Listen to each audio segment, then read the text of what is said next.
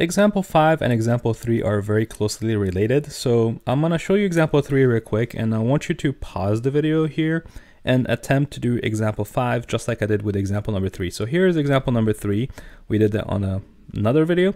It was 1 over x, and so I had to rewrite the 1 over x as x to the power of negative 1, then find the first and second derivative.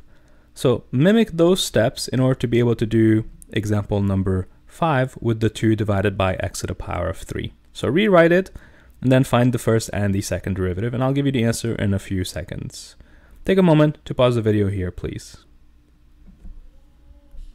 So maybe you were able to rewrite the first expression, the 2x to the power of 3 becomes 2x to the power of negative 3 when the x is moved to the numerator. And once you do that, you're basically ready to find the first and the second derivative. So for the first derivative, we bring the negative 3 down towards the 2. 2 times negative 3 is going to be negative 6. Then we subtract 1 from the exponent. So it's already negative 3, and we're going to subtract 1, and the total there is going to be negative 4. And if you want, you can stop right here, or if you want, you can continue and write it down a little bit more conveniently with the positive exponent on the denominator.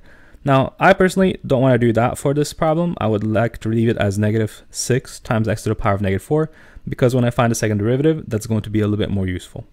So at this point in time, I'm going to bring the negative 4 times the negative 6. That's going to make it positive 24. And then again, take away 1 from the exponent to find the second derivative.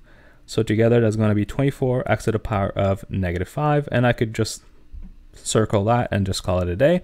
Or if you want to, you can write it a little bit more conveniently as 24 divided by x to the power of 5 with a positive exponent.